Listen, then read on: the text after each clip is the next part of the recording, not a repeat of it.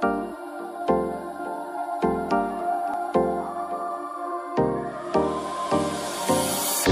for a love potion, a little sweet and spice. Throw it all in a cauldron, mix it up real nice. Fire in my eyes,